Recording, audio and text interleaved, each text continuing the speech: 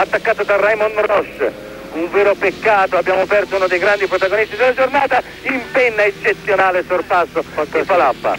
Fantastica, molto bene, Giancarlo è molto pronto adesso